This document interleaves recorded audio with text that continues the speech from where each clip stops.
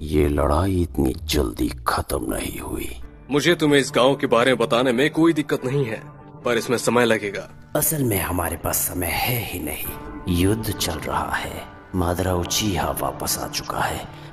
चाहे जो भी हो जाए उसकी आँखों में सीधा मत देखना। Fire style majestic destroyer flame इसे रोकना हमारे बस में नहीं है।